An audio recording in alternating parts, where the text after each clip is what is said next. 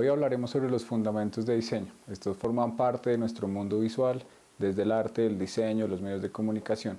Pero ¿qué tienen en común estos elementos básicos como la línea, el tamaño y la forma y el equilibrio? Aunque solo no son importantes, juntos forman parte de lo que se ve y se crea. Los elementos visuales en el diseño pueden enseñar mucho sobre cómo trabajar con diferentes recursos y crear imágenes desde cero con gran impacto. El primero de los elementos y el más básico de todos, la línea.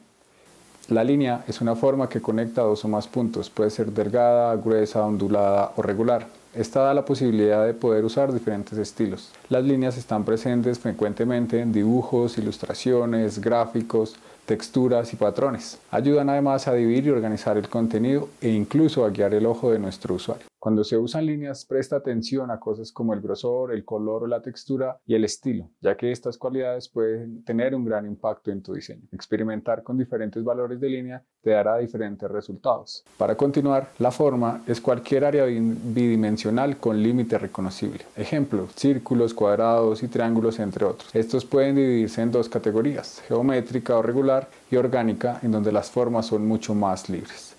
Las formas son importantes para comunicar ideas visualmente, porque les da peso visual y las hace reconocibles. Gracias a ellas entendemos las señales de tráfico. Tiene un sorprendente número de usos en el diseño cotidiano que pueden ayudar u organizar y a separar el contenido, a crear elementos simples o agregar interés a tu trabajo.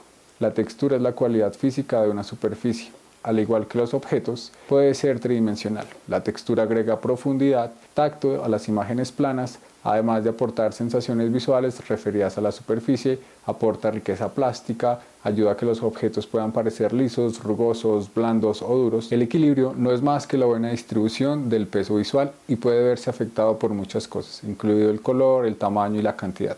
El equilibrio visual se consigue con la distribución y la composición correcta del peso visual y la dirección de las formas. Para lograr el equilibrio se pueden usar los diseños simétricos, estos son iguales o similares en ambos lados, y los diseños asimétricos que son diferentes en sus lados pero están bien distribuidos. El color y el tamaño de las formas son los elementos que más intervienen en el peso visual. El equilibrio se produce básicamente de dos maneras, por simetría y por compensación del peso y las direcciones. Dominar el equilibrio puede ser complicado al inicio, ya que requiere intuición. Afortunadamente existen innumerables ejemplos en la web. Los fundamentos de diseño van más allá de la pieza final, ya que lo importante es apreciar los detalles que conforman cada composición.